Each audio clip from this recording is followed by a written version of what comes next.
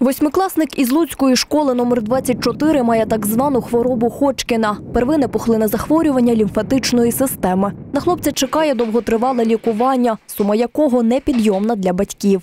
Аби допомогти родині, благодійна організація Творчість заради життя, актори творчої студії Наталії Журавльової, однокласники Сашка та їх батьки влаштували благодійну акцію. Дітки створювали всі ті вироби, які там є, допомагали мамам пекти е, печиво, кекси, солодощі. І от ми маємо сьогодні ціль е, зібрати певну суму коштів саме для лікування Сашка. Діти дуже прийнялися історією Саші, і отак е, ми просто зібралися і вирішили, що треба, треба щось робити. Не можна сидіти осторонь. На ярмарку діти пропонували відвідувачам вироби ручної роботи. Іграшки, предмети декору, картини, вишивки, передбачення та різноманітні смаколики.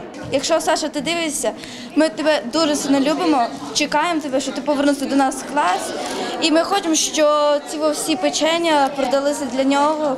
Школярі розповідають, кожен виріб особливий, бо придбавши його, можна врятувати Сашка. Окрім того, гостей благодійного заходу чекала прем'єра вистави на крилах любові від творчої студії Наталії Журавльової. і актори, і е, ми вирішили долучитися до е, збору коштів і хоч чимось допомогти дитині. Це е, така романтична історія про перше кохання, про перші почуття. Глядачі мали нагоду перенестися у часи Другої світової війни та пережити разом з акторами проблеми та радощі родин тих часів. Для всіх наших акторів є дуже важливим те, що ми граємо цю виставу, допомагаючи е, Саші, тому що це дуже важливо робити таку місію для людини. Усі зібрані гроші передадуть батькам Олександра Ліщука. Якщо й ви бажаєте зробити добру справу для сім'ї, допомогу можна надсилати на рахунок мами Сашка.